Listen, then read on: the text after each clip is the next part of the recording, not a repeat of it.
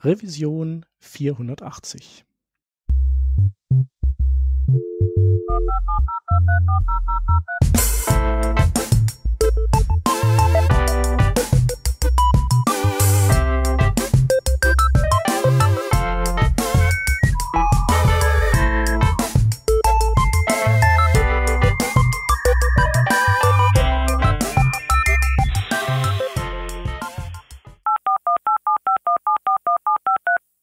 Diese Revision von Working Draft wird euch präsentiert von NetID, der größten Internetförderaktion in ganz Österreich.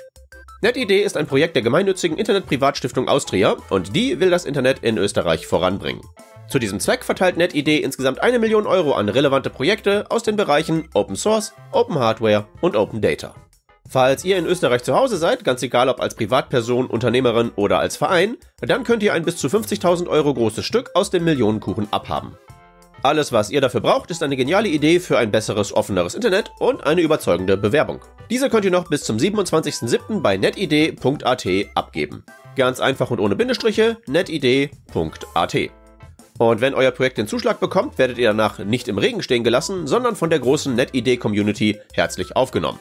Also nicht lange zögern, sondern bis zum 27. Juli bei netidee.at bewerben. Wir bedanken uns bei NetID für die Förderung des Internets und für die Unterstützung von dieser Revision von Working Draft.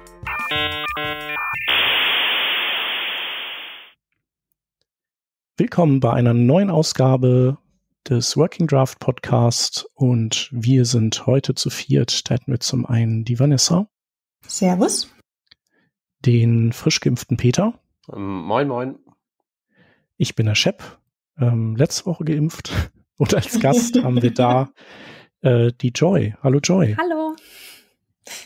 Du warst ja noch nicht bei uns im Podcast, ähm, deswegen äh, die Frage an dich, ob du dich einmal schnell vorstellen kannst, bevor wir mit dem eigentlichen Thema loslegen. Ja, das kann ich gerne machen. Ähm, also ich, ich heiße Joy Heron. Ähm, ich bin als Fullstack-Entwickler unterwegs, äh, beschäftige mich ich beschäftige mich, ich, ich beschäftige mich sehr ähm, viel äh, in der letzten Zeit mit Frontend-Entwicklung, vor allem mit HTML und CSS.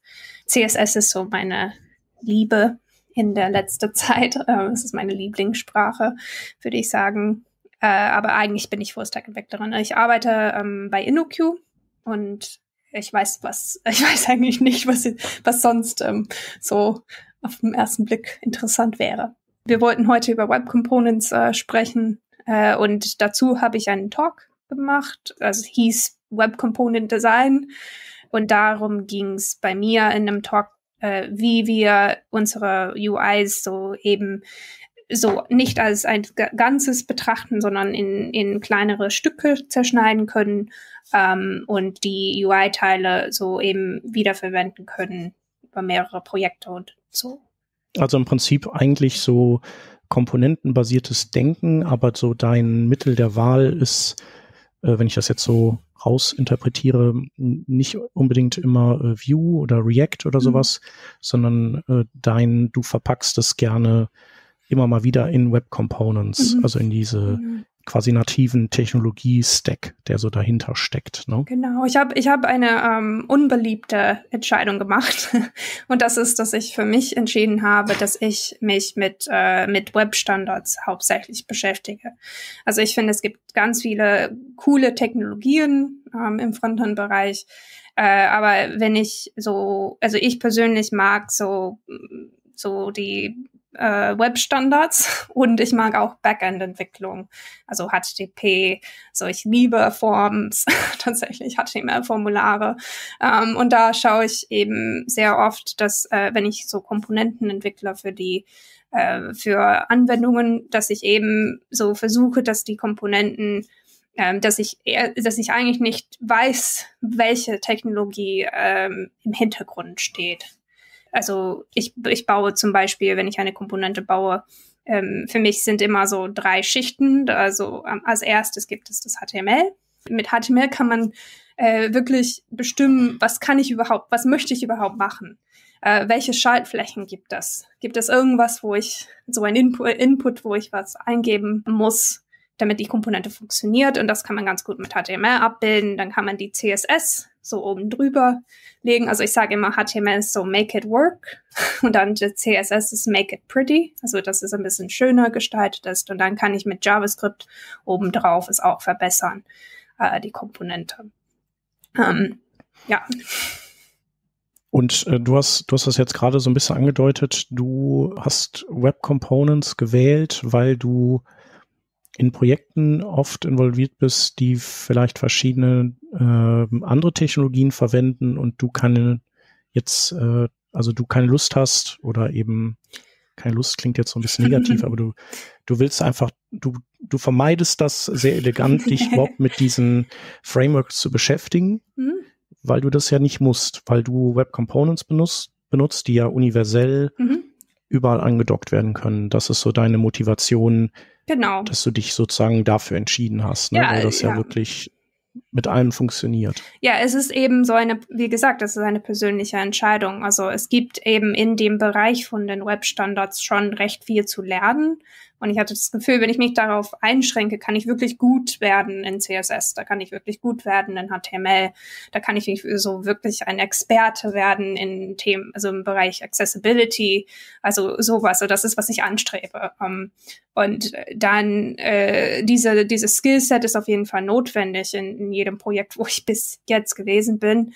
Ähm, und äh, deswegen hat meine Entscheidung für mich sich gelohnt. Ähm, genau. Ja, also du lernst quasi nicht eine Technologie, die vielleicht äh, in fünf Jahren keine Rolle mehr spielt, ne? Weil, weil das ja, ja. Standard ist quasi. Genau. Ja, cool. Ich denke auch für den Einstieg nochmal so zur Übersicht, weil ja doch mh, hm, vielleicht doch irgendwie die Mehrheit, vielleicht kommt es mir auch nur so vor, in einem Framework-basierten JavaScript-Umfeld arbeitet oder irgendwie Vue, Angular, React, MVM etc. gewohnt ist. Was ist denn so der konkrete Unterschied zwischen Web Components und diesen Frameworks? Beziehungsweise kann ich mir eine Web Component vorstellen wie dann eine Single-File Component oder ist das was ganz anderes sogar? Also für mich gibt's so zwei unterschiedliche Sachen. Also so wenn wenn wir so sowas wie React oder Vue oder ich glaube Angular auch zum Teil, äh, die sind auf jeden Fall auf der Ebene der Komponenten geschnitten. Also wenn ich eine, wenn ich ein, eine React-Komponente schreibe, ist das schon irgendwie eine Verpackung von die Dinge, die für diese, diese bestimmte UI, also diese bestimmte UI, alles, was dazu gehört, ähm, ist in dieser Datei drin.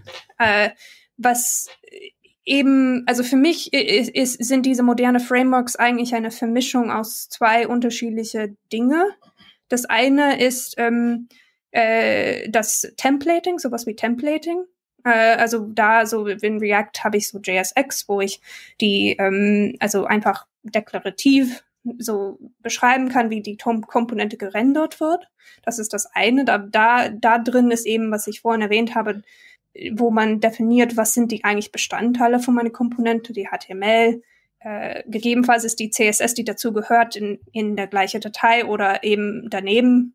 Ähm, also wenn ich so Komponenten schreibe, schreibe ich meistens nicht ähm, React oder Vue, aber ich, ich mache immer so Ordner für die Komponente, wo der Template drin steht, ähm, die CSS und, und wenn JavaScript notwendig ist, die JavaScript, die da daneben äh, liegt.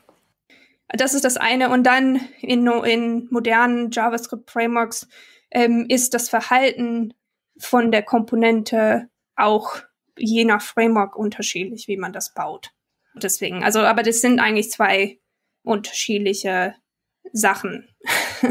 Das eine ist eben das Templating, wo ich bestimme, was ist, was ist die Komponente eigentlich, eigentlich und das andere ist, wie, wie verhält sich diese Komponente. Wenn ich ein Inputfeld habe, was tue ich, wenn der Benutzer etwas in diesem Inputfeld macht und das äh, an, an dem Server angibt. Und wenn, wie ich Komponenten schreibe, ist eher, ich sage, dass ähm, ich verlasse mich darauf, wie der Browser sich verhält was tut der Browser, wenn der Benutzer so etwas in einem Inputfeld schreibt. Ähm, und dann mache ich nicht so viel äh, mehr da drauf. Und ich würde noch sagen, so ein ganz wesentlicher philosophischer Unterschied ist ja auch der, dass wenn man eine Web Component definiert, die ja letztlich von der Konzeption her versucht, einfach ein weiteres HTML-Element zu sein und sich da in den äh, Zirkus des Vorhandenen einzugliedern mit allen möglichen Verhaltensweisen und so. Wo man dann hingegen bei den Frameworks schon so sieht, dass da ähm, das keine Rolle spielt als Überlegung, sondern dass da, wenn ich mir jetzt sowas wie React hernehme, ähm, ja relativ radikal auf so so maximale Entwicklerproduktivität getrimmt ist. Ne? Mhm. Ich schreibe halt eben so mein JSX mit in mein JavaScript rein, importiere meine CSS-File, Webpack macht das schon, bam, bam, bam, damit man da halt in kürzester Zeit diese Dinge, diese Dinge rausrödeln kann. Web Components ist, würde ich so ähm, grob sagen, ist halt mehr Aufwand im Vergleich, aber dafür hat man halt eben was, was dann universell einsetzbar ist, nicht an ein Framework gebunden ist und halt eben, weil es Webstandard ist, eben garantiert bis in alle Ewigkeit weiter funktioniert mhm. und nicht in fünf Jahren irgendwie all und überholt ist. Ja, also das, was du, also ich mochte den Punkt ganz, äh, ganz, also ich, ich fand den Punkt ganz gut, was du gesagt hast, dass es, äh, dass die ähm, Frontend-Frameworks so sehr viel auf, auf Entwicklerzufriedenheit geschnitten sind an vielen Stellen. Ähm, und ich glaube, bei, bei Web Components, da ist, ist das, das Wichtige ist, was, was am Ende rauskommt. Ähm, dass es gut benutzbar ist für den, den Benutzer, dass, äh, dass es accessible ist. Also sowas muss man meiner Meinung nach immer mit berücksichtigen. Äh, weil es nicht darum geht, wie erstelle ich die Komponente, äh, also in meinen Entwicklungsprozess, sondern es geht darum, was ist das, was dabei rausfällt am Ende. Ähm, ist das hm. verwendbar? Ist das, ähm, ist das, kann das wieder verwendet werden?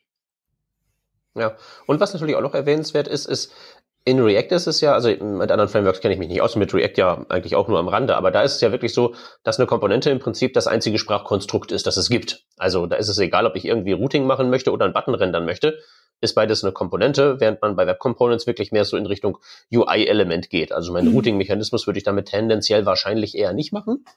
Äh, will nicht sagen, dass das nicht geht, aber wahrscheinlich ist da die Idee mehr so, dass es da wirklich um UI geht, worauf ich dann, ja, dann rumklicke und vielleicht möglicherweise was baue, was sich möglichst gut in den vorhandenen HTML-Zoo eingliedert, würde ich sagen. Was ich auch mit Web Components verbinde, also einerseits ist, was du gerade meinst, Joy, mit der Accessibility, da, also ich habe nie mit Web Components tatsächlich gearbeitet, aber ich habe zumindest unklar Halten darüber gehört, so von wegen, sie wären ja gar nicht accessible und dann wieder andere mhm. Meinungen von wegen, doch, doch, doch, ich habe das nur auf Twitter verfolgt und bin dann mal lieber wieder gegangen, bevor ich in diesen Thread reinrutsche. Das andere, da können wir vielleicht danach noch drüber sprechen, sind Polyfills. Aber wir können gerne mal bei dem Accessibility-Thema bleiben, damit wir da mal aufklären, wie ist denn da die Lage? Ja, also ich weiß tatsächlich nicht, ähm, um welche Diskussion das äh, sich gehandelt hat. Äh, vielleicht sollten wir da erstmal ein bisschen Definition ähm, erklären, wenn, also wenn wir ähm, über Web Component sprechen, darunter kann man sich viel vorstellen, weil es eben, es gibt einen JavaScript Spec, da, das schließt eben vier unterschiedliche ähm, Spec, also eigentlich vier unterschiedliche Specs ein für den JavaScript-Teil. Und äh, unter diesen, also diese vier Specs darunter versteht man, dass es, das sind Web Components aus JavaScript-Sicht. Ähm, aber dann gibt's eben auch, was wir äh, so schon ein bisschen angesprochen hatten, wenn man ähm, Komponenten baut auf eine Art und Weise, ähm, also es geht darum, mehr, also diese Art von, wie entwickle ich UI-Komponenten in einer Art und Weise, ähm, die wiederverwendbar ist über mehrere Anwendungen hinweg. Und das, das muss ein bisschen mehr äh, sein als nur die JavaScript-Specs, weil die JavaScript-Specs sind nur JavaScript. Also unter den JavaScript-Specs kann man, also es gibt, glaube ich, vier unterschiedliche Specs. Das eine, der eine, also das, was ich am meisten verwende, äh, sehr, also ich verwende es sehr gerne, ist, ist Custom Elements. Das ist eben so ähm, da kann ich, ich, ich weiß nicht, es ist immer so schwer, so Code zu erklären auf ein Podcast-Format. Ich weiß nicht, wie das am besten zu erklären, aber ähm, das, das finde ich ganz gut. Das erlaubt mir eben so zu sagen, ich, ich möchte eine, eine, eine, eine neue HTML-Element definieren, der nachher in meinen HTML-DOM landet. Und wenn diese HTML-Element in mein HTML-DOM landet, dann kann ich mit JavaScript eben zum Beispiel ein Connected Callback definieren, der aufgerufen wird, sobald dieses Element von einem Browser erkannt wird. Ähm, und da kann ich eben so JavaScript-Verhalten ganz einfach an so ein HTML-Element verknüpfen. Das, der andere ist eben der Shadow Dome. dann gibt es den HTML-Imports, aber das ist tatsächlich deprecated, das Spec.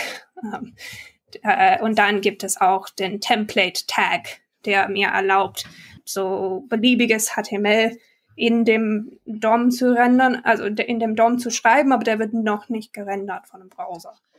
Und also mit diesen Mitteln kann man äh, eben accessible Komponenten bauen. Aber um die accessible Komponenten zu bauen, muss man schon wissen, also so Ahnung, ein bisschen Ahnung von Accessibility haben. Also die Komponenten, also so Custom Elements an sich ist eigentlich also nur ein so ein Hook, der so HTML mit JavaScript verbindet, mehr oder weniger. Und wenn ich zum Beispiel so eine Komponente schreiben möchte, die wirklich accessible ist, brauche ich in der Regel zusätzliche HTML-Elementen. Ähm, und dann, wenn ich so, wenn ich eben so die Komponente schreibe, ähm, ist es auch so, ich könnte die äh, es überlassen, dass die Komponente so mit äh, so kleinzeitiges JavaScript selber den DOM aufbaut.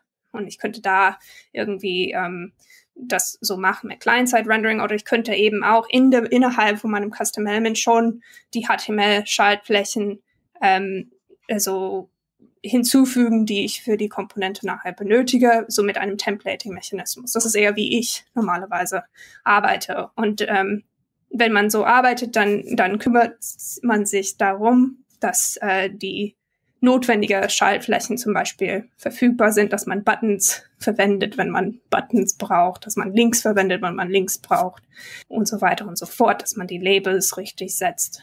Ähm, und dann äh, wenn man das einmal definiert hat und diesen, diesen, diesen Kontrakt klar definiert hat und das er so mit so Keyboard so äh, getestet hat und mit Screenreader getestet hat und so unterschiedliche Dinge äh, und das als, als ein Stück verpackt, dann kann man sagen, das ist accessible. Ja, man ist halt in, man ist halt bei Web Components, äh, glaube ich, auch wegen der, sagen wir mal, etwas umständlicheren Entwicklung auch so ein bisschen tatsächlich dazu getrieben, was du gerade sagtest, nämlich die vorhandenen HTML-Features wiederzuverwenden, also die Links und die Buttons und nicht so wie das bei React und Konsorten so üblich ist, da Web-Development zu machen mit halt ganz vielen Diffs und alles irgendwie wieder zu reimplementieren, sondern hier ist es dann wirklich mehr so ein Zusammenklöppeln aus diesen High-Level-Elementen, die rümpel ich in mein Shadow DOM rein, das render ich in mein Element rein, bisschen Behavior noch dran ballern und fertig ist die Kiste. Das mhm. ist schon, ja, äh, was halt, was ich halt immer interessant finde, ist halt so die ähm, diese API von äh, Web Components an sich, wie man das halt macht, was du gerade beschrieben hast. Also Template im Template-Element hinterlegen und ähm, diese Klasse schreiben mit dem ganzen Behavior und dem Connected Callback und so weiter. Ähm, ich finde halt immer wirklich sehr, sehr den Kontrast interessant zwischen dem, und dem, was man halt eben in den diversen Frameworks so findet. Und wie man wirklich erkennen kann bei den Web Components, dass da ganz andere Überlegungen diese API geformt haben und ähm, dass da halt, wie gesagt, Entwicklerproduktivität nicht unbedingt das allererste äh, Wichtigste war, sondern vor allen Dingen halt eben eine Bedienkonzept zu erschaffen, mit dem sich das vorhandene HTML-Werkzeug so gut wie möglich erklären lässt. Das ist halt noch nicht, auch nicht perfekt und so, aber man kommt dem halt relativ nah und dass man halt eben wirklich damit HTML-Elemente bauen kann. Und das ist, glaube ich, so wirklich der mentale Schritt, den man da wirklich gehen muss. Ich mache halt keine Framework-Komponente und eine Web-Komponente ist was grundsätzlich anderes, nämlich ein neues HTML-Element mit allem, was dazugehört. Mit so den ganzen DOM-Properties und Methoden und internen State und was nicht allem, was am Ende möglicherweise so vom UI, wo ich draufklicke und was dann passiert, gleich aussieht, aber letztlich ja, eine ganz andere Herangehensweise an das Problem, ich will da jetzt ein UI-Element haben, irgendwie symbolisiert. Hm. Äh, ja, und es treibt einen halt nicht so zu diesem Neuerfinden vom Rad, was ich eigentlich wirklich sehr schön finde. Hm. Ja, also ich, ich finde auch, also das, das, Ding ist, man kann auch, also so mit Custom Element zum Beispiel Progressive Enhancement ganz gut hinkriegen.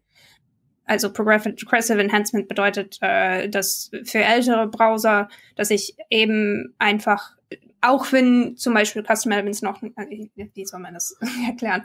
Also ähm, Progressive Enhancement ist so ein bisschen, ähm, äh, ich stelle sicher, dass die Anwendung also noch funktioniert, auch wenn einige, äh, zum Beispiel wenn, wenn JavaScript nicht vorhanden ist, könnte man meinen.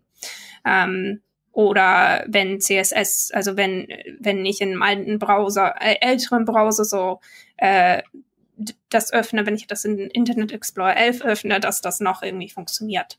Ähm, auch wenn ich da die modernsten Sachen noch nicht habe. Ähm, und mit Custom Elements, also vor allem, äh, das lässt sich super damit bauen, weil ich zum Beispiel der Custom Element, also wenn ein Browser auf etwas trifft, was er nicht kennt, dann ignoriert es im, im HTML. Und das ist zum Beispiel, wenn ich so eine neue Custom Element hinzufüge und irgendwie der Browser den, ähm, den HTML, also den JavaScript-Teil dazu nicht laden kann, dann behandelt der Browser dieses, dieses Element wie ein Span. Und wenn ich so überlege, was, was mache ich als Default so in ein, in den Span rein, dann kann ich so ein, ähm, äh, so, das ist mein, mein Default-Verhalten. Zum Beispiel könnt ihr mir vorstellen, so ein Custom-Element für einen Modaldialog zu machen, wo, wenn man auf dem, äh, auf dem so Button klickt, dass der Modaldialog aufpoppt. Ähm, aber das äh, Progressive Enhanced Behavior, also das Default Behavior ist ein Link. Also, dass wenn man so auf den Link klickt, dass man eben das in in, so sich öffnet und ich kann noch auf den Inhalt zugreifen, obwohl das JavaScript-Verhalten oder das schöne Modaldialog nicht aufgeht. Ähm, und wenn ich eben da, das als Custom Element äh, baue, kann ich so meinen Modaldialog so als dieses Element bauen und da drin habe ich so ein A, so A-Anchor-Element als mein Link und wenn der Browser den Custom Element nicht versteht, dann ignoriert er den Custom Element und der Link steht noch da. Ähm, so, sowas kann man ganz gut mit Custom Elements bauen. Mhm. Die Frage ist natürlich, ob das jetzt wirklich immer ein Vorteil ist oder auch ein Nachteil. Weil wenn ich mich jetzt in meine React-Welt hineinbegebe, dann brauche ich dieses Problem gar nicht zu lösen, weil das definitionsgemäß nicht existiert, weil wenn es kein JavaScript gibt oder irgendwas nicht geladen werden kann, dann ist sowieso alles im Eimer und ich kann einfach aufgeben. Ja. Ist natürlich schon ganz praktisch beim Komponentenentwickeln, wenn ich diesen Fall nicht bedenken muss ja, also ja, aber dann baust du Seiten, die, also ich meine, ich finde es irgendwie,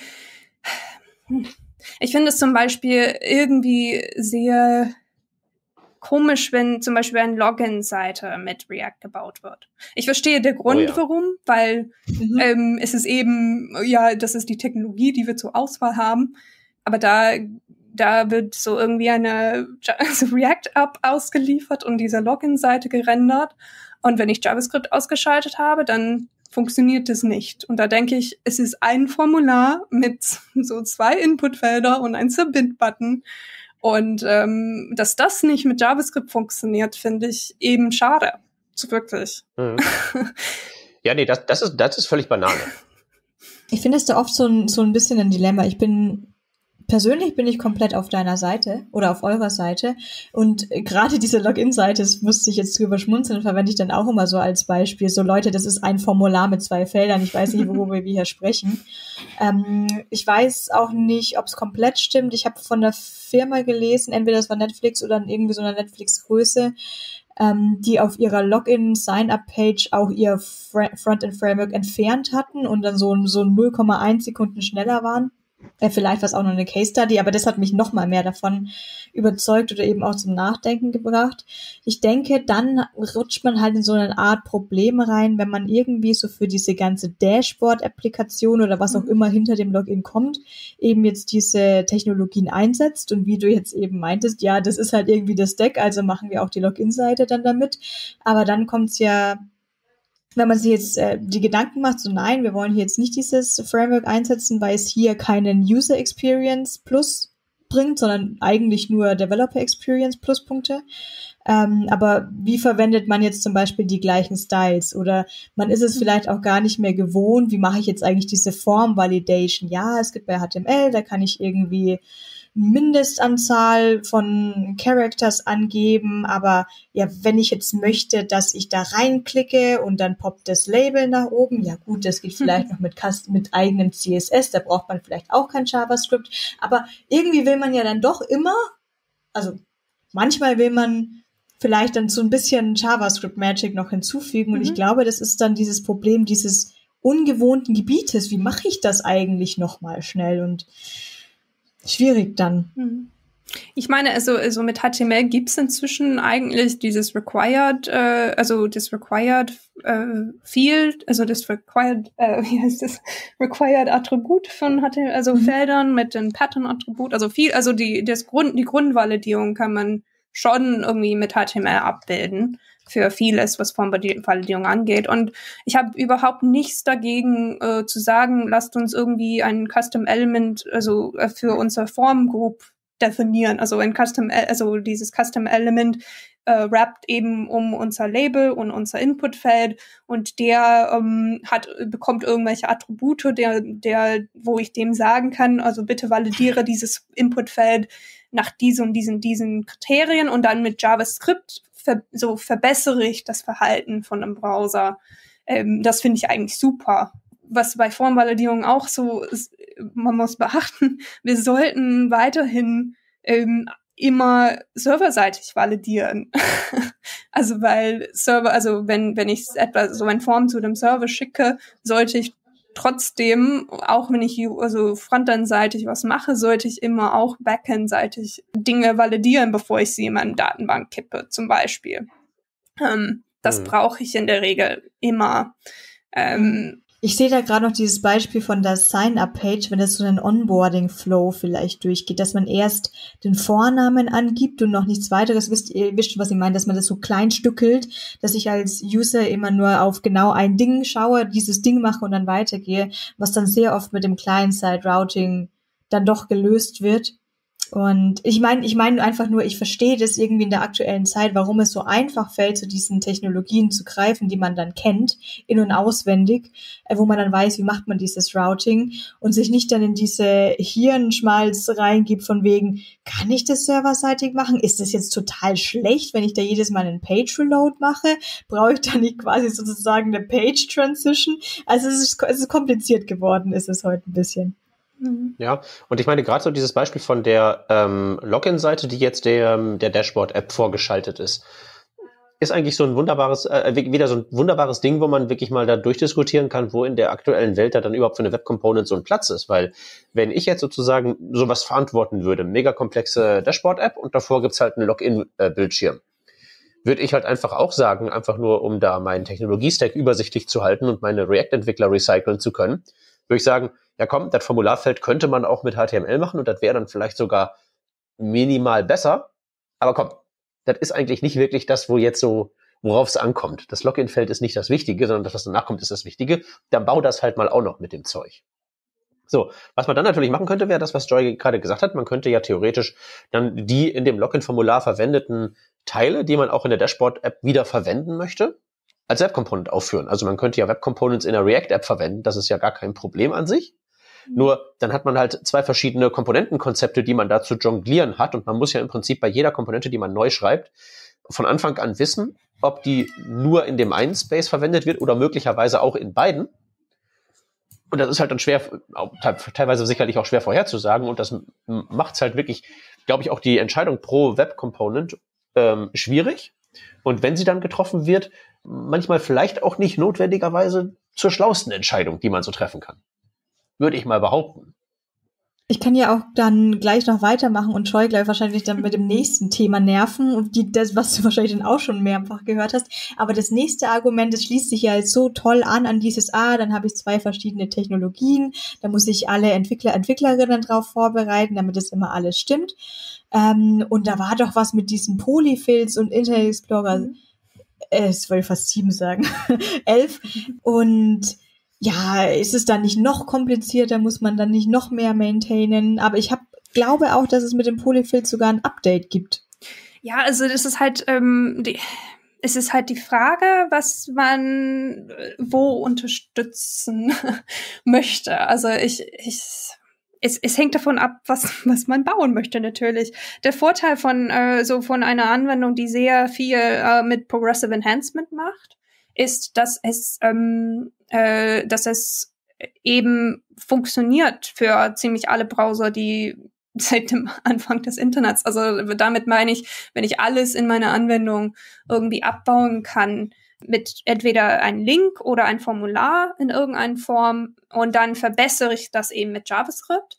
Dann habe ich so ein Funktion funktionierendes Anwendung und da der, der Polyfill ist, ist eben das Problem ist, ist, dass wenn ich ein Polyfill einschalte, um so, super tolle neue ähm, Funktionalität für moderne Browsern in älteren Browsern zu unterstützen, es sind genau diese Browser, die darunter leiden. Also der Internet Explorer 11 ist eben wahrscheinlich nicht der der schnellste Browser sowieso. Und dann, wenn ich dem sage, du musst so, ich weiß nicht, wie viele Kilobyte an, an Polyfills runterladen und äh, die auch so parsen und verwenden und so weiter und so fort, dann der, also der Internet Explorer 11 Anwendung wird immer langsamer je mehr Polyphysik dazu füge. Und das ist auf der anderen Seite, wenn ich sage, okay, ich bin damit einverstanden, dass der Internet Explorer 11 das Default-Verhalten ohne JavaScript zum Beispiel oder ohne den neueste Custom Element, das ist ausreichend für diese Komponente. Dann kann ich den JavaScript, den Teil für den Internet Explorer 11, der muss den nicht haben. Und der Default-Verhalten funktioniert. Es ist, es ist schneller eventuell für den Internet Explorer 11, weil der so ähm, weniger so Kilobyte runterladen muss. Ähm, und dann äh, ist, also dann muss ich mir nicht so viel Gedanken machen. Es sind genau diese ältere Browser, die äh, es schwer haben mit JavaScript. Die neueren eher nicht so. Ähm, genau. Und, und äh, ich glaube, man sollte einfach entscheiden, wenn man mehr eher auf der Custom Element Ebene um, unterwegs ist, da kann man auch ein bisschen, also vielleicht mehr Kontrolle darüber haben. Also wenn man React oder so hat, dann hat man eventuell nicht so viel Kontrolle darüber, was tatsächlich rausgerendert wird in mein JavaScript-Bundle nachher.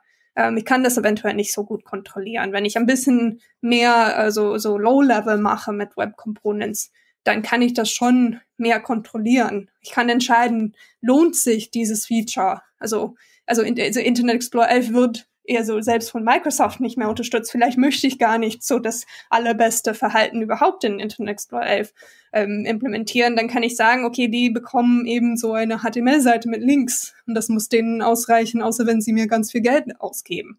Und dann, dann schauen wir mal, sobald das Geld der Geld auf dem Tisch liegt oder so. Aber dann kann ich ganz bestimmt so entscheiden, okay, diese, für dieses Feature lohnt es sich, für ältere Browser so irgendwie eine bessere Funktionalität zu liefern. Äh, dann schaue ich mir, aber wie kann ich das bauen? Wie, welche Bibliotheken wären dafür notwendig? Wie viel JavaScript wäre das? Wie viel Polyfills bräuchte ich? Würde es sich lohnen? Ähm, und dann kann ich da äh, diese Entscheidungen treffen. Ja, ich ich würde das, ich würd das äh, Argument gegen Polyfills auch nochmal äh, von der anderen Seite betrachten. Nämlich, äh, wenn ich sage, ich baue eine Web Component, dann baue ich ein HTML-Element. Und das hat halt wirklich mit der React-Komponente oder ähnlichem nur den Namen gemeinsam, aber ist halt was fundamental anderes. Und das funktioniert normalerweise auf genau die Weise, die Joy gerade beschrieben hat, mit dem Progressive Enhancement. Und wenn das nicht verstanden wird, dann sehe ich halt den Inhalt zwischen den Tags, wie bei so einem Videoelement im Internet Explorer 6 oder so Zeug. Das heißt, da würde ich halt eben auch sagen, ja, wenn es halt nicht geht, dann in deinem alten Browser, dann geht's halt nicht, weil das mit allen HTML-Elementen ganz genauso ist. Und wenn das für äh, jemanden nicht das passende Verhalten ist, dann ist halt das Web, die Web Component auch nicht die passende Lösung für das zu lösende Problem. Dann geht's halt hin und baut eine React-App, dann werdet ihr damit eher glücklich. Aber eine Web Component ist ein HTML-Element und sollte sich halt, wenn ihr mich fragt, wirklich genauso verhalten. Und da gehört halt eben genau dieses Progressive Enhancement Verhalten genauso dafür. Das heißt, Polyfill wenn man dazu gezwungen wird, gut, dass es da ist und nichts kostet und so, aber würde ich halt wirklich auch von Start weg nicht mit einplanen. Würde ich ganz genauso machen. Ja.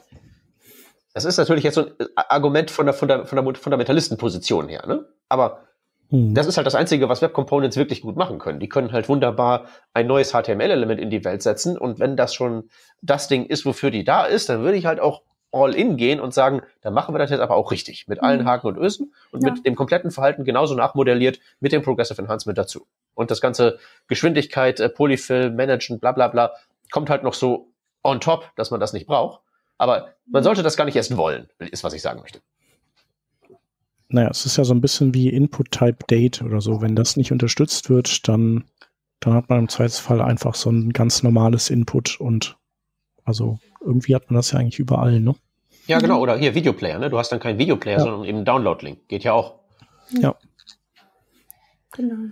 Ähm, apropos Progressive Enhancement, äh, und das ist vielleicht auch nochmal so ein, so ein Ab Abbiege, äh, also ein kleiner Umweg. Ähm, es gibt doch auch diese Custom Elements, die sozusagen extend, also, exten mhm. also äh, sozusagen Extensions sind von bestehenden. Also es gibt, äh, gibt auch dieses Input oder und dann as, dieses as-Attribut, glaube ich, oder? Is. Is. So, mhm. so sieht's aus. Is. Genau. Ja. Ähm, das finde ich eigentlich auch ganz gut, das Konzept. Aber mhm. irgendwie, ähm, also weil da hat man ja schon was, äh, quasi was Funktionierendes und kann das noch schöner machen, aber irgendwie ist das ja auch, da gibt es wenig Einigkeit unter den Browserherstellern, oder? Es ist nicht, dass es wenig Einigkeit gibt, es ist, dass Apple sich entschieden hat, das nicht zu implementieren.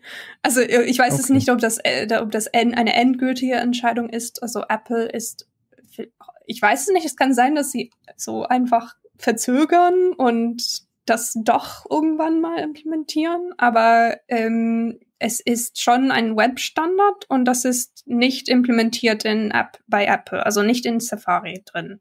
Das heißt, wenn man ähm, diese dieses, ich glaube, ist das Built-in replaced Custom Elements? Type Extension ist das, glaube ich. Type Extension, okay. Ich weiß nicht mehr, wie das heißt, aber ähm, da, da kann man das überall in allen modernen Browsern außer Safari. Ähm, und da Safari vor allem in dem Mobile Market äh, sehr viel also sehr präsent ist, ist das schon ein Ausschlusskriterium in der Regel. Ähm, es gibt ein, also von Ungap so ein kleiner Polyfill, der das erlaubt. Und da muss man gucken. Also ich finde das eigentlich vertragbar, diesen kleinen Polyfill für diesen, dieses Verhalten, was Apple entschieden hat, nicht zu implementieren, äh, anzu, also einzubinden, wenn, wenn man das so schreiben möchte. Also tatsächlich finde ich diese Schreibweise mit den ähm, den is äh, ähm, Syntax auch ganz charmant, dass ich so ein Button, so für ein Button sagen kann. Also der Normalfall ist so eben ein Button und dann kann ich so Button is my component machen und der so, der erweitert den Button und macht es so einen ganz tollen Button. Aber grundsätzlich hat es dieses HTML schon drin. Das ist schon eine HTML-Schaltfläche und ich muss nur ein extra Attribut dran dran machen. Das finde ich eigentlich ganz, ganz gut. Andererseits finde ich es immer ein bisschen seltsam, dass man, wenn man diese ähm, Type Extensions verwendet, man ja im Prinzip zweimal sagen muss, meine Element, mein Element ist eine Variante von was Bestehendem, weil man muss ja das mhm. Is-Attribut anbringen auf seinem Button.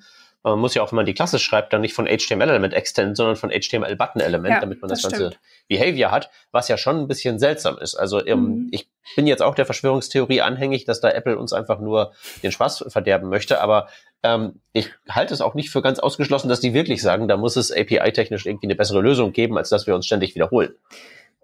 Kann sein. Ich meine, was aktuell geht, ist, man kann schon die Komponente halt um den Button herumpacken.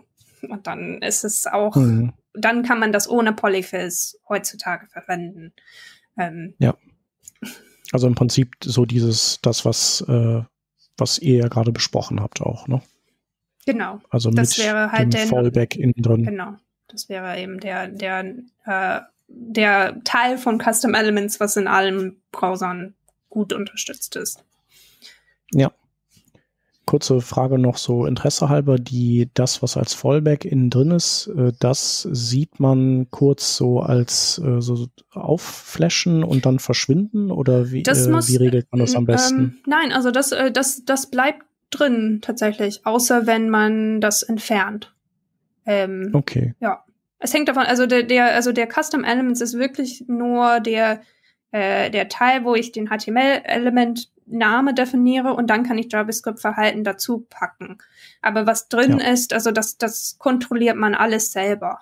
Ähm, wenn okay. ich den, also wenn ich den, das, was drin ist, verstecken möchte, kann ich das alles drin verstecken. Oder ich kann was machen, was ich möchte mit meinem JavaScript-Verhalten. Ja, ich glaube, der, ich glaube, der Standard-Use-Case wäre sowas wie, ähm, ich hänge da ein Shadow-Tree rein mit JavaScript und sobald das Shadow DOM da ist, verdeckt das ja das, was ohnehin zwischen den Text steht. Mhm. Und so wird es ja auch mit dem Progressive Enhancement äh, funktionieren. Wenn du kein JavaScript hast, gibt es kein Shadow DOM, dann kannst du den Inhalt zwischen den Tags nicht verbergen, weil du nichts drüber projizierst. Und dann bleibt er halt eben sichtbar. Ja. Aber geht das dann äh, so schnell und unbemerkt? Wahrscheinlich nur, wenn man seinen JavaScript so upfront schon, schon äh, geschickt hat, oder? Mm, es gibt zwei Möglichkeiten. Also das ist, das ist tatsächlich ein so ein schönes Ding, wo man wirklich merkt, dass die Web Components halt eben nicht so benutzerfreundlich sind wie die React-Komponenten. Ähm, du kannst zwei Sachen machen. Du kannst entweder das Skript einbinden, bevor zum ersten Mal dieses neue Element in der Seite erscheint, oder dahinter. Wenn du es vorher einbaust, dann weiß der HTML-Parser, weil er ja das Skript im Rahmen des HTML-Parsens auch ausführt, Also er hat dann schon beim HTML, beim Skript ausführen gelernt, dass es dieses Custom Element gibt und kann es dann direkt parsen und direkt verstehen, dass dein Hello-World-Element wirklich ein neues Element ist. Was aber auch passieren kann, ist ja, dass du erst Hello-World irgendwo deinem HTML drin hast, der Parser macht es zum HTML-Unknown-Element. Hinterher kommt dann dein Skript, das sagt, ach übrigens, das ist eigentlich ein, eine Custom-Element und dann gibt es einen nachträglichen Upgrade-Mechanismus. Und je nachdem, wie später dieses nachträgliche Upgrade stattfindet, kann es durchaus sein, dass du das irgendwie da rumflackern siehst denke ich mal, das lässt sich relativ einfach vermeiden. Wesentlich problematischer finde ich halt an der Geschichte, dass tatsächlich für dich als Entwickler der Web Component, als jemand, der halt eben dieses innere Verhalten beschreibt, tatsächlich im Code wahrnehmbar ist, ob das Skript zum Zeitpunkt, da sich eine Web Component instanziert, schon eingebunden war oder ob das ein nachträgliches Upgrade ist. Weil wenn es ein nachträgliches Upgrade ist, sind deine Child Elements zum Zeitpunkt des Upgrades schon gepasst und du kannst auf die ohne weiteres zugreifen. Wenn das vorher schon bekannt ist und du sozusagen das Element vom Start weg als korrekte Custom Element verarbeitest, dann sind die Child Elements noch nicht da. Und dann musst du da damit umgehen, sag ich mal. Mhm. Ne, wenn du irgendwie so eine Art Select Element baust und du willst die Options da drin irgendwie äh, verarbeiten, kannst du halt eben nicht davon ausgehen, ich bin ein Element, ich bin connected, also habe ich diese Options, sondern du musst da gegebenenfalls äh, noch Maßnahmen ergreifen, dass du wirklich zu dem korrekten Zeitpunkt dann da reingreifst. Das ist alles schon, also schon fies, muss, muss man mal sagen. Ist wirklich nicht schön. Okay. Alles klar. Äh, sollen wir noch über die, also wir haben jetzt ja gerade gesprochen über die Custom Elements. Äh, Joy, du hast ja gesagt, es sind ja insgesamt also vier beziehungsweise drei nur noch ähm, ja. Teilbereiche, die so unter diesen Web Components Schirm gehören. Äh, das zweite, das waren ja, war ja der Shadow DOM, den hat der mhm. Peter ja auch gerade schon erwähnt. Das ist ja quasi, dass man so einen nach außen abgeschirmten eigenen kleinen Mini-Dombaum verwaltet in mhm. seinem Element drin. Ne? Mhm. Und äh, da hattest du in der Vorbesprechung gesagt, ähm, dass, also, das kann man mit JavaScript machen. Mhm. Das ist aber vielleicht für, den, für die ein oder andere nicht so super intuitiv. Und du hattest in der Vorbesprechung gesagt, es gibt jetzt, äh, oder in den Browsern gibt es jetzt auch eine Markup-Version dafür wo man sein genau, Shadow DOM. Ähm, ich glaube, äh, es steckt leider immer noch hinter einem Flag oder so. Da, da, ich habe es persönlich okay. noch nicht so viel gemacht, ähm, aber ich, ich habe mich gefreut, dass es das, das in der Arbeit ist. Ähm, da gibt's so ja. eine neue, äh, also die, die arbeiten dran, dass man eben mit Shadow DOM ähm, nicht nur quasi den DOM zur Laufzeit mit JavaScript aufbauen kann, also den abgeschirmten DOM, sondern dass man da auch, äh, es heißt Declarative Shadow DOM, dass man das schon mit drin in dem HTML angeben kann. Und das finde ja. ich persönlich ähm, viel besser, weil man da Ja, das erhöht halt die Zugänglichkeit. Genau. Ne? Um, ähm, und deswegen ja. hatte ich mich gefreut, dass, dass das in, ähm, in Arbeit ist. Weil das würde dann eher ähm, so erlauben, zum Beispiel, äh, wenn du eine Komponente, wenn du sagen möchtest, ich möchte, dass meine Komponente ähm, hat ein Shadow Dome, aber ich was äh, ich möchte, dass es dieses Shadow DOM hat, auch bevor JavaScript da ist oder so. Ähm, das kannst du nicht machen, wenn JavaScript erforderlich ist, um den Shadow DOM zu erzeugen. Ähm, so. Ja. Ja, und, und was. Ja, was und es gibt vielleicht auch Leute, die, die haben halt einfach keine Lust, sich mit JavaScript äh, da äh, herumzuplagen, wenn die, wenn die vielleicht ähm, HTML craften oder sowas, ne? Ähm, mhm. Die freuen sich, also ich finde, es sind halt zwei unterschiedliche Herangehensweisen, äh, dieses äh, Deklarative und das Imperative oder was das andere ist. Mhm.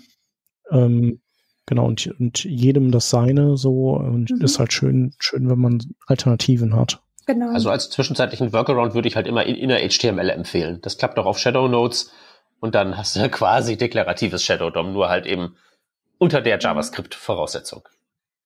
Ja. Ah, oder was auch, was auch ganz gut ist, also weil Template-Element hatten wir ja auch mal. Mhm. Geht ja so ein bisschen in die Richtung, ist ja auch ein deklaratives Template, ja, baue ich in mein HTML-Element, äh, HTML-Dokument ein, kann ich da dann eine Content Property rauslesen, ist ein Document Fragment drin, kann ich in meinen Shadow DOM reinklonen oder so. Mhm. Äh, ja. Aber braucht ja die Hilfsbrücke, ne? Äh, die, die, was braucht er? naja, braucht, braucht ja die Hilfsbrücke oder die, so dass der, das JavaScript muss, muss dann eben einmal hochgefahren und äh, da einmal drüber gegangen sein. Ja, also das alles, was ich, was ich halt jetzt sage, ähm, ist äh, immer unter dieser JavaScript-Prämisse schon noch. Aber was halt eben ähm, letztens mir so als Erkenntnis gekommen ist und was ich in dem Kontext eigentlich ganz nett fand, ist, wenn ich eine Web Component schreibe, ist es ja eine Klasseninstanz letztlich, weil ich ja mhm. in dieses Custom Elements noch die feine Klasse reinstecke.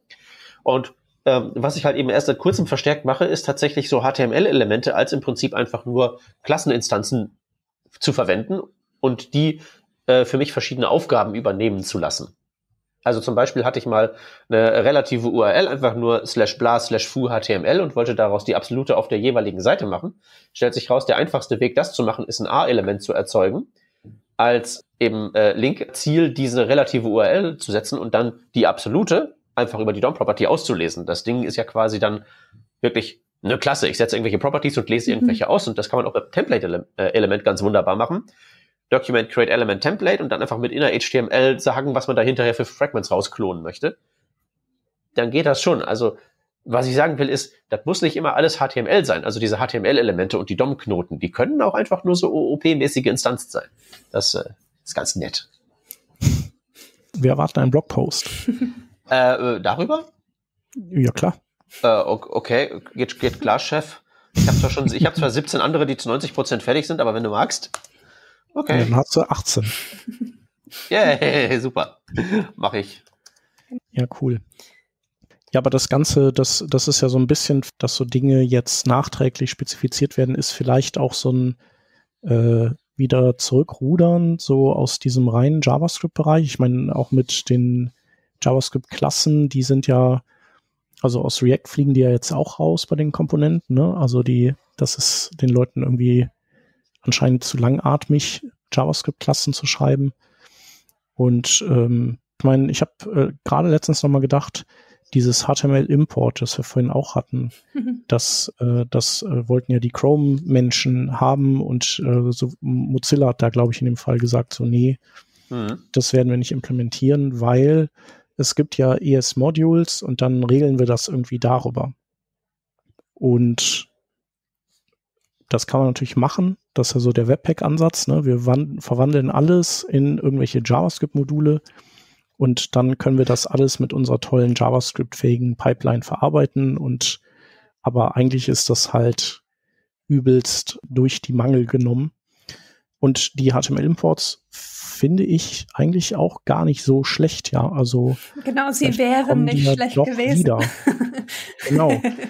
Äh, was halt zum Beispiel total dafür spricht, die zu haben, ist, ähm, das sehen wir ja auch bei, bei so Dingen, äh, äh also wie, wie diese ähm, Resource-Hints und so, dass alles, was du ins HTML packst, das lädt halt auch einfach viel schneller, weil, weil du halt irgendwelche Ressourcen-Scanner hast, die mhm. darüber laufen und das Zeug ganz schnell holen.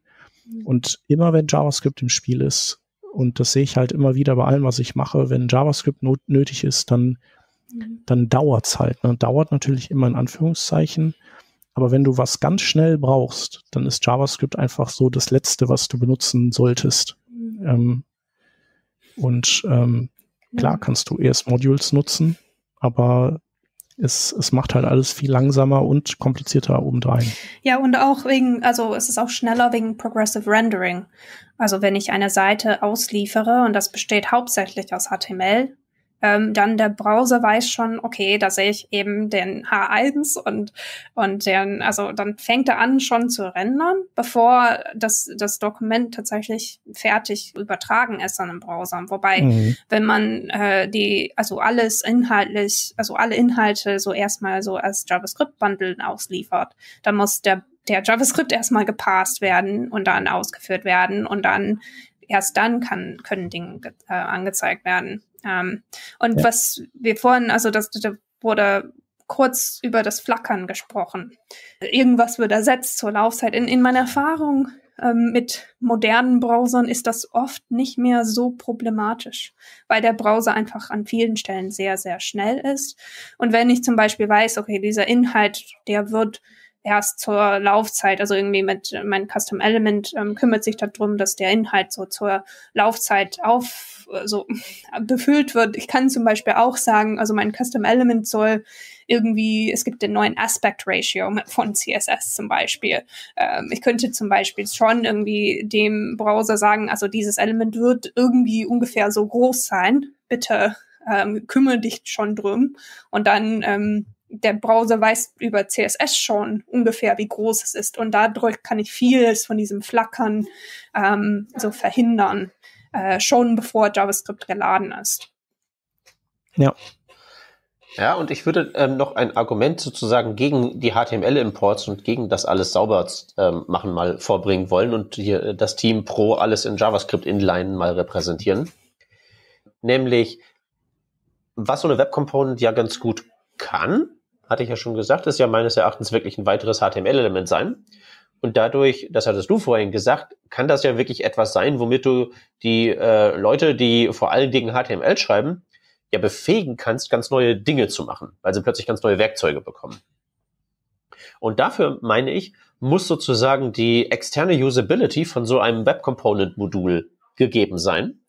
Und dazu würde ich halt eben sagen, gehört es, dass es halt eben am Ende eine minifizierte JavaScript-Datei ist, die ich irgendwo reinwerfen kann, ganz egal wo rein. Mhm. Und die einfach von ihrer ganzen, ich registriere mich und äh, binde mich so ein in den globalen Scope und so weiter, der Gestalt ist, dass es halt wirklich so ein self-contained, schmeiß dieses Ding da rein und schalt dein Gehirn aus, Teil ist. Und wenn ich mhm. halt dann auch noch sicherstellen muss, dass weil ich irgendwelche HTML-Imports habe, die irgendwo sein müssen und da müssen die Pfade irgendwie korrekt gemappt sein und mein CMS ist dann irgendwie komisch und so weiter, damit macht man sich, glaube ich, den Vorteil so ein bisschen kaputt, dass man seine HTML-Schreiber im Prinzip äh, turboladen kann. Naja, du könntest ja auch, dein Entry Point könnte ja auch der HTML-Import sein, der das JavaScript dann lädt, weißt du? Ähm, äh, ich erinnere mich nicht mehr an HTML-Imports, äh, muss ich tatsächlich sagen. Ich habe gesehen, ah, okay, die machen das nicht. Bitte den Speicherplatz freigeben in meinem Gehirn. Ja. Äh, aber ich stimmt, der, der, das waren HTML-Files mit den Ressourcen drin und die wurden auch runtergeladen und dann irgendwie zur Verfügung gestellt. Ja, genau. Ja. Hm. Genau. Ja, man braucht wirklich nur, man, es sollte nur ein Dings sein, was auch immer das ist, was man einbindet, damit man diese Components auch dann einsetzen kann, klar. Ja. Ja, naja, jetzt sagst du so, das ist so klar. Finde ich jetzt nicht unbedingt, weil du könntest das ja auch andersrum sagen. Ich argumentiere jetzt gerade dann aus der Perspektive von, ich habe eine Idee für eine Komponente und die baue ich jetzt für alle Use Cases. Aber wenn du jetzt irgendwie äh, Monster Company bist und du baust irgendwie die neue Dashboard-App, dann wären ja irgendwie so äh, 100 verschiedene Einzelteile, die ja dann notwendigerweise auch Funktionalität irgendwie duplizieren oder doppelt in ihrem Bundle drin haben oder so, wiederum auch nicht das Richtige. Ne? Also ich glaube, es ist wirklich eine Frage, was man wirklich baut. Baue ich jetzt eine Komponente als Teil von einem großen Ganzen? Dann würde ich mir halt wirklich auch die Frage stellen, ob Web Components da wirklich für mich das Richtige sind, weil ich halt eben diesen Trade-off habe. Ich baue zwar ein super HTML-Element, das universell einsetzbar ist und das für die Ewigkeit ist, aber ich bezahle das wirklich mit signifikantem Mehraufwand. Ich bin der Meinung, das ist signifikanter Mehraufwand. Oder wenn man wirklich sagt, ich baue hier irgendwie ein universelles Plugin. Ich, ähm, das gab es ja früher mal zu Web 2.0 Zeiten. Hier, binde dieses, dieses, dieses, dieses Mix-In in deine Seite ein und dann hast du da so ein Widget drin, das meinen Service einbindet. Macht man ja heutzutage auch nicht mehr. So Like-Buttons und Google Maps und so ist ja auch nicht mehr so üblich, wie das früher mal war. Aber dafür wäre das eigentlich ja ziemlich super gemacht. Hey, mein Widget ist jetzt einfach ein Tag, den baust du ein. Ne? Ja. Wenn das sowas ist, was wirklich dann so ultra universell ist, dann ist die Entscheidung, glaube ich, pro Web Component, die dann auch ohne irgendwie ein Framework-Unterbau auskommt, ziemlich eindeutig. Also ich bin Freund von Web Components, aber ich glaube, die haben einen ziemlich schmalen, ein ziemlich schmales Einsatzspektrum, wenn man jetzt mal so alles, was so in so einer Applikation an Überlegungen und äußeren Zwängen und so dazukommt, dass der Einsatzspektrum halt ein sehr schmales.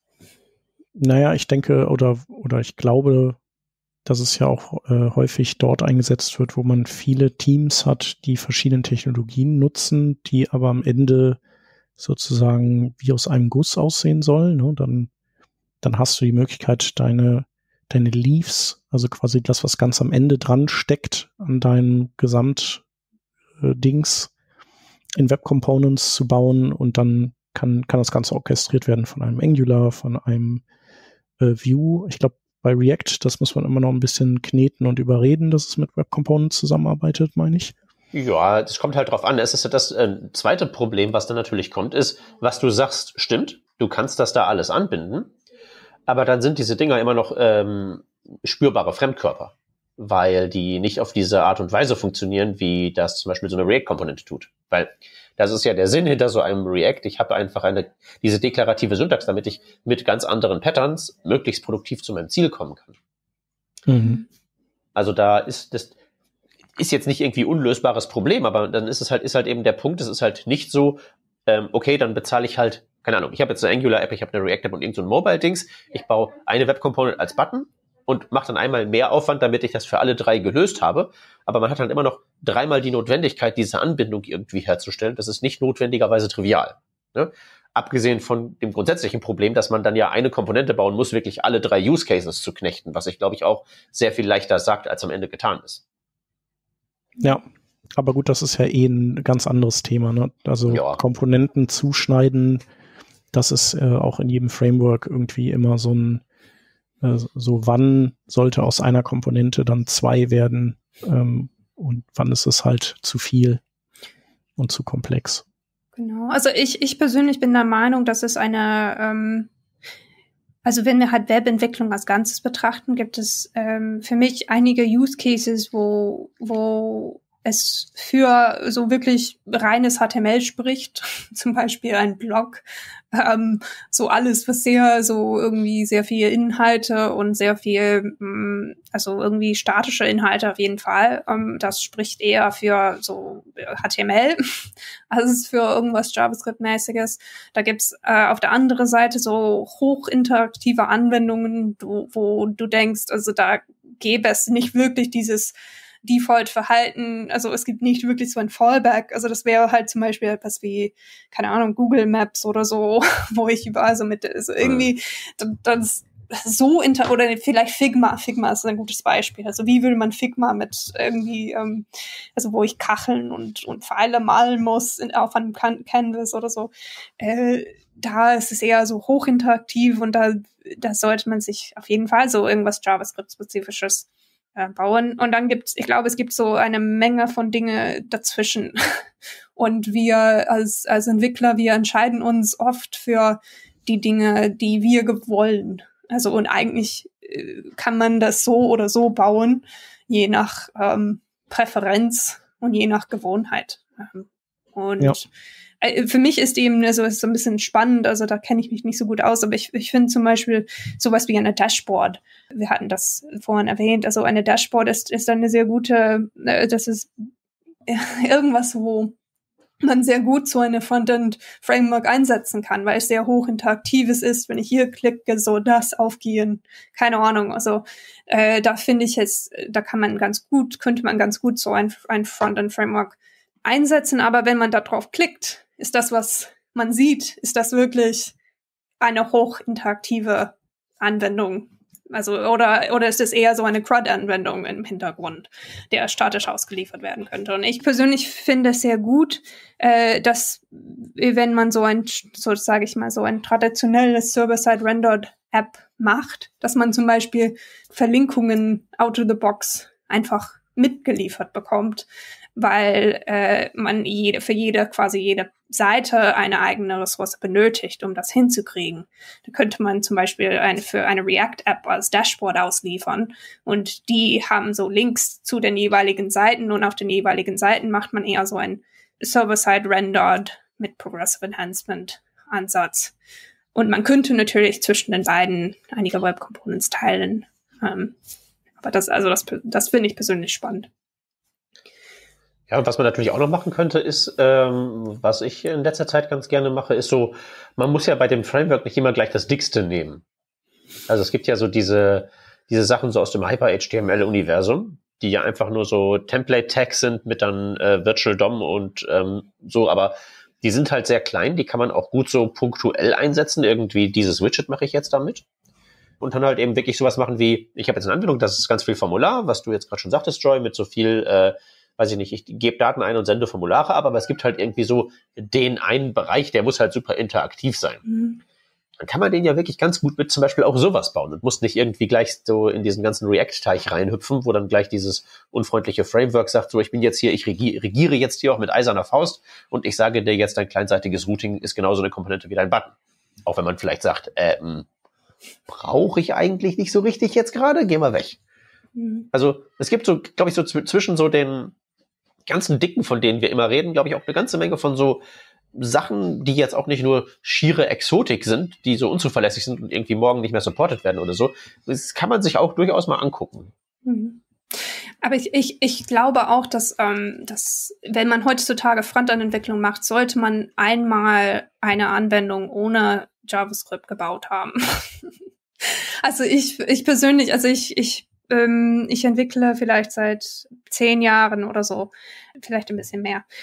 Ich werde ein bisschen älter, aber ähm, ich, ich habe so, äh, als ich gelernt habe so zu programmieren, als ich Webentwicklung gelernt habe, ich habe nicht verstanden, wie ein HTML-Form funktioniert. Und da habe ich so irgendwie bei Stack Overflow geguckt und dann habe ich gesagt, okay, wie kann ich eben die also das es so machen, dass wenn ich irgendwie hier klicke, ähm, dass irgendwas passiert und dann habe ich überall so bei all meinen Event-Händler Event.prevent Default einfach so geschrieben, weil Stack Overflow mir das gesagt hat, dass ich das tun soll und ich hatte nie verstanden, was ist das Default-Verhalten, was ich hier gerade so, das, das was ich da verhindere.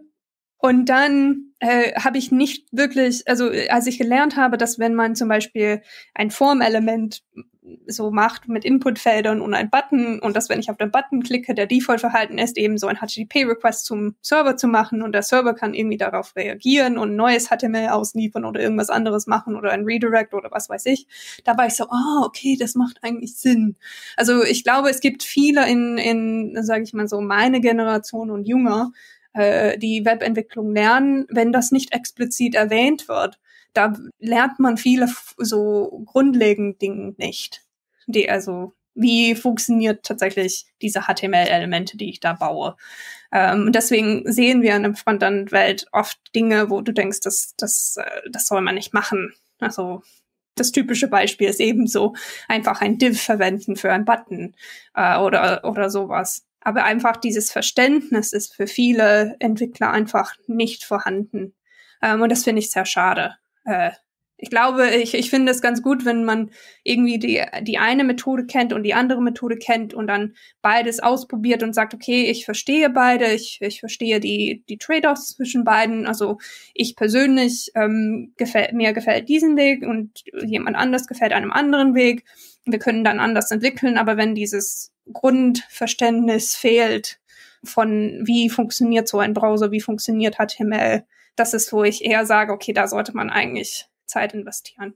Ja, es ist für mich auch so eine Frage von, von Guides. Also jetzt, ich weiß es bei Vue.js auswendig, aber ich bin mir sicher, dass es bei anderen auch so sein wird. Ich habe auch an dieses Event Prevent Default ähm, Beispiel gedacht.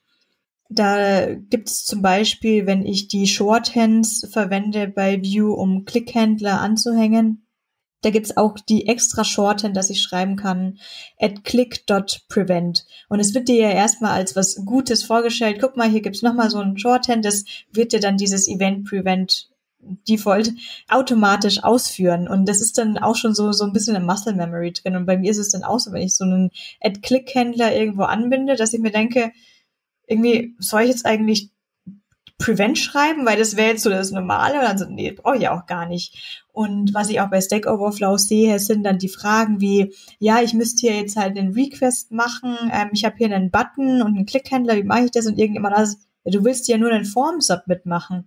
Und die Form mhm. ist so ein bisschen einfach altmodisch geworden, so ein bisschen altbacken. Das findet man noch so auf self-html.org Seiten auf Deutsch, da denkt man sich, hm, ist vielleicht nicht so, nicht so voll neu, wenn schon auf Deutsch übersetzt ist. Ich brauche da, da so einen Klickhändler.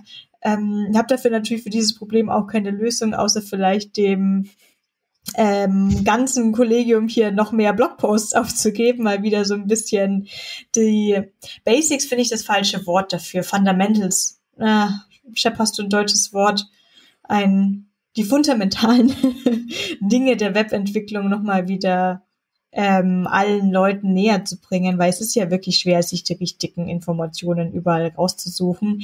Und dass ein Form-Submit zum Beispiel gar nicht nur ähm, ein Get-Request mhm. sein kann, sondern auch ein Post-Request, der vom Backend angenommen werden kann mit der Data Method Post, ist, glaube ich, auch schon sehr unbekannt geworden. Das, was ich immer nur sehr schlimm finde, ist, wenn irgendwas, wir hatten es vorher schon, ähm, ausschaut wie ein Link und dann kann ich aber nicht irgendwie Rechtsklick machen und den Link zu öffnen. Das macht mich als Nutzerin dann immer so ein bisschen kirre. Aber ja, die, die fundamentalen Sachen, bis auf neben der Form gibt es bestimmt auch viele andere. Dieses Date-Input-Field, was wir vorher gerade hatten, es ist so normal geworden, dass man sich irgendwie eine Library, ein Package dafür reinholt für einen Date-Picker, weil man früher mal Polyfills brauchte, weil es dieses Input-Date-Field gar nicht gab.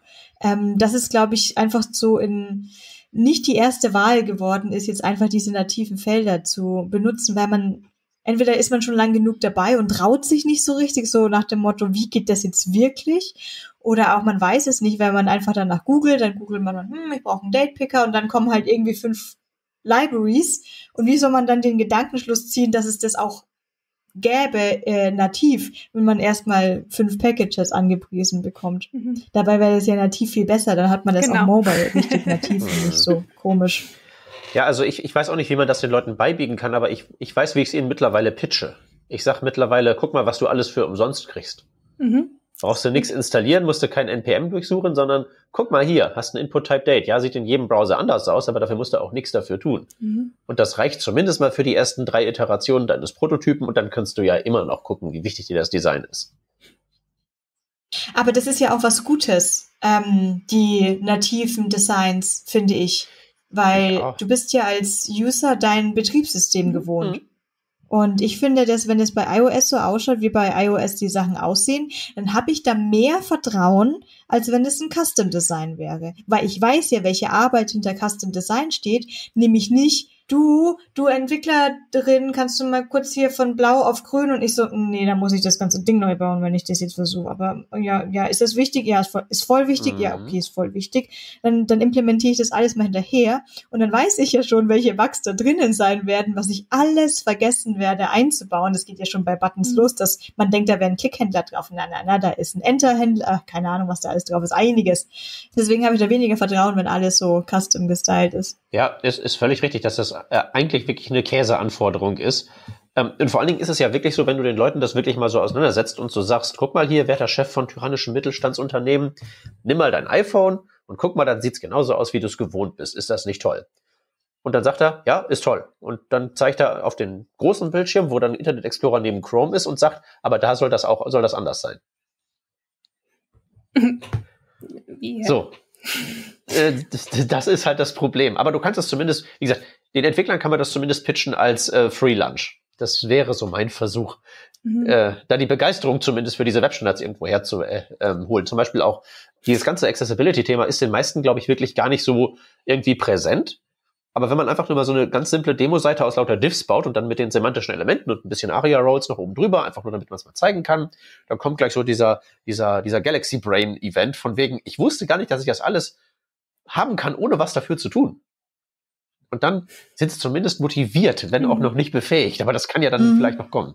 Ja, ich, ich, ich versuche das auch immer zu verkaufen mit, äh, guck mal, das, ähm, das hat, das funktioniert jetzt, funktioniert auch für, also es gibt eben Fallbacks für ältere Browser ähm, und das wird, ähm, wenn ich das, wenn du das so baust, dann wird das für 20 Jahre funktionieren, ohne dass du updaten musst.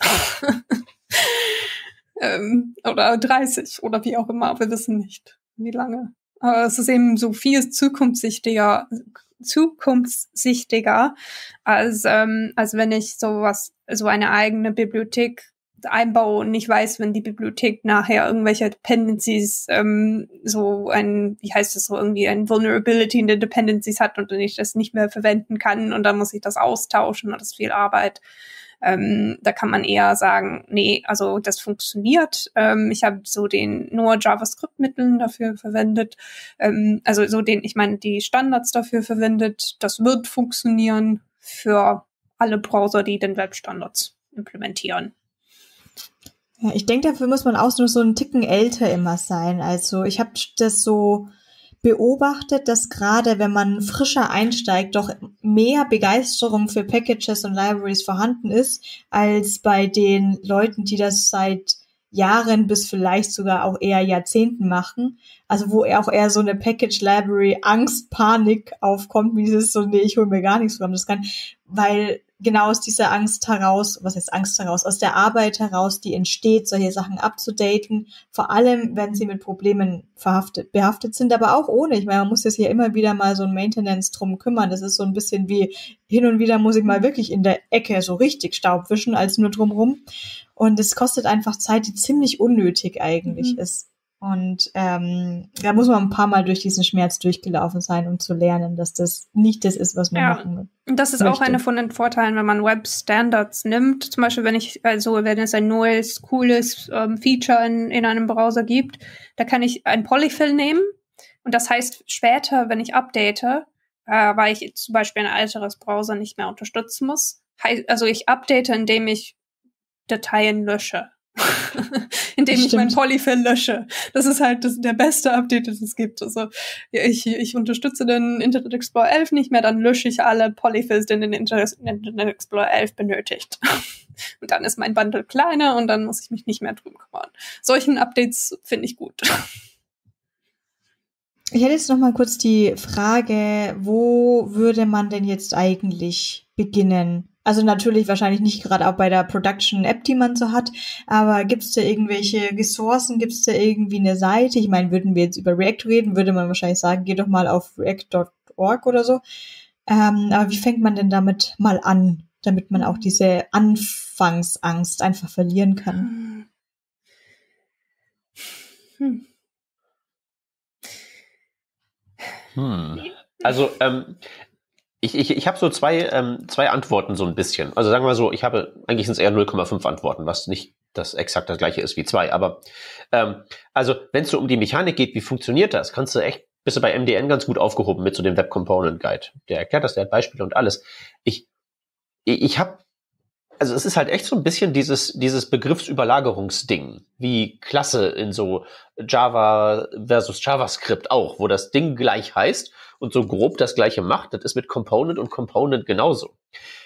Ich glaube halt echt, Web Components können von, können von da wirklich äh, einer gewissen ideologischen Radikalität profitieren, wenn du sagst, ich baue da jetzt wirklich was, das hat mit einer, meiner View Component nichts gemein, sondern ich designe ein HTML-Element neu. Und ich lese mir in der Spezifikation von HTML wirklich mal durch, was so ein Button-Element alles für Händler hat, was du ja gerade sagtest. Und dann versuche ich das mal nachzubauen. Weil die Mechanik, wie gesagt, kannst du dir bei MDN super anlesen, aber ich glaube, du müsst, musst halt wirklich so, ja, von Radikalität profitiert, glaube ich, dann das Endprodukt, weil es dann wirklich ein HTML-Element ist, sich wie jedes andere HTML-Element verhält. Jeder, der HTML kann, kann es verwenden und es wird die nächsten 30 Jahre aktuell bleiben und nicht kaputt gehen. Mhm. Und ich weiß jetzt nicht, wo du dir die Radikalisierung herholen kannst, nur die schiere Information. Ja, also ich persönlich finde bei, bei, also bei Custom Elements, wie man da anfangen soll, so dumm wie es klingt, ähm, einfach indem man den allereinfachsten Fall mal also ausprobiert. Das heißt, es, da muss man eine, ähm, eine JavaScript-Klasse definieren, ähm, der von HTML-Element erbt und dann ein Connected Callback Methode, also schreibt mit so ein Konsole Log, keine Ahnung, und dann kann man so Custom Elements define und dann den Namen, den ich definieren möchte und dann den, den, die Klasse und dann kann ich in meinem HTML so dieses Element hinzufügen. Das sind so die drei Schritte. Und dann hat man so das Gefühl, ah, okay, so kann ich eine Custom Element schreiben und da drauf eben sagen, also es hängt davon ab, was man machen möchte. Da drauf kann man sagen, okay, was, also was möchte ich dann wirklich mit diesem Element machen? Ich habe so immer so, es gibt dieses Law of Three, ich weiß nicht von wem das geschrieben ist. Wenn man merkt, dass man etwas dreimal baut, dann kann man so eben das auch versuchen, mal zu abstrahieren. Also ich habe so ein Beispiel, ich habe so äh, eine Komponente geschrieben, die heißt Tabelle. Ähm, die macht sortierbare Tabellen. Ähm, und da habe ich bemerkt, in all meinen Projekten brauche ich eben so äh, eine sortierbare und filterbare Tabelle, wo eben in, in jeder Spalten so es dieses äh, Inputfeld gibt und dann gibt es so Pfeile zum Sortieren auf und runter. Und dann habe ich das ähm, irgendwie in vier oder fünf oder sechs oder sieben Projekten mal machen müssen. Und da habe ich entschieden, okay, nee, also da irgendwie das, das ständiges Wiederholen von die Dinge, also ich habe sie so schon so oft gebaut. Wie wäre es, wenn ich mal dieses Verhalten, was ich schon so oft gebaut habe, wie wäre es, wenn ich das irgendwie in eine Form abstrahiere, damit ich das ähm, so wiederverwenden kann zwischen Projekten? Ähm, das ist eigentlich der, also der Talk, den ich dann, also den ich gemacht habe. Es ist auch aufgenommen auf YouTube, glaube ich. Das heißt Web Component Design. Ähm, und da habe ich auch, das, da, da nehme ich tatsächlich dieses, diese Komponente als ein Beispiel und zeige, wie man das eben in den Schritten, also aufbauend ähm, anfängt, so mit der Überlegung, was ist die Komponente und dann, wie würde ich die Schaltflächen dafür definieren, was brauche ich für Schaltflächen, ähm, wie kann ich die dann äh, verwenden. Und also ich, ich finde, also die, die Komponente ähm, ist tatsächlich eine interessante Geschichte. Ähm, ich habe die ursprünglich so gebaut, damit die mit serverseitiger so serviceseitig gerenderte Anwendungen so gut funktioniert. Ähm, aber der, der Frontend-Teil ist natürlich ähm, so, hat keine wirkliche Ahnung vom, vom Backend oder von das, was im Hintergrund steht. Ähm, und ich habe vor kurzem, vor ein paar Wochen, äh, so eine neue Version rausgebracht, wo der, der wirklich da clientseitig alles so sortiert und filtert, indem er so eben äh, eine Java, also JavaScript-Bibliothek anbindet. Und da fand ich es einfach ein ganz gutes Beispiel dafür, wie man eben dieses, diese Komponente, die man baut. Also man hat es einmal gebaut und die Schaltflächen stimmen, die also Accessibility stimmt. Ähm, aber da kann man eben den, das, was im, dahinter steckt, einfach austauschen. Das ist ein bisschen der, der Brad Frost ähm, hatte einen Blogpost geschrieben, dass es eine Unterscheidung zwischen Front of the Frontend Entwickler gibt und Front of the Backend, also Front in Back of the Frontend, sorry, Back of the Frontend äh, Entwicklung gibt. Also das eine, dass man die ein bisschen un voneinander unterscheidet. Das eine ist eben, ähm, wie kann ich so meine HTML äh, äh, in einem Form zusammen mit, mit CSS eventuell ein bisschen JavaScript bauen, damit es, also damit die Schaltflächen funktionieren, damit das gut miteinander funktioniert, also damit es gut funktioniert. Und dann der, der andere Skillset ist eben, wie kann ich diese Komponente eben an meine Technologie anbinden? Wie kann ich es in meinem äh, Single-Page-Framework anbinden oder wie kann ich das mit einem Backend verbinden? Das sind zwei, eigentlich zwei unterschiedliche Skillsets. Ähm, und, und wir, wir brauchen immer beides tatsächlich in allen unseren Projekten. Ja, das fand ich einen ziemlich guten Tipp, dieses, ich finde es auch überhaupt nicht äh, dann dumm, sondern dieses, dieses Standardmäßige einfach mal nachzubauen ähm, ist, glaube ich, immer eine der besten Möglichkeiten, wa was Neues zu lernen, bevor man sich mit schwierigeren Dingen beschäftigt und dann irgendwie einfach den, den Wald vor lauter Baume nicht mehr sieht oder ganz andere Probleme reinrennt oder falsche Konzepte befolgen möchte, weil es einfach zu viel Neues auf einmal ist. Ansonsten haben wir ja dich jetzt einiges durchgelöchert, was diese Web Components sind, was man damit machen kann, wie gut sie schon funktionieren. Ähm, haben wir dich was Bestimmtes noch nicht gefragt, worüber du gerne noch sprechen möchtest? Hm. Ich, ich glaube, wir haben schon ziemlich viel gesprochen, oder? ähm, also wir können, also es hat vielleicht äh, ähm, nicht was Konkretes mit dem Web Component zu tun, aber ich habe auch eine, ähm, eine Webseite dieses Jahr ähm, herausgebracht. Das heißt responsibweb.app. Falls jemand sich für so responsive Webdesign und äh, accessible Webdesign interessiert, kann man das nehmen. Also das habe ich gebaut, also eine, als eine Checkliste. Ähm, wie, was soll man alles beachten, wenn man eine Anwendung baut, damit die responsive und accessible ist?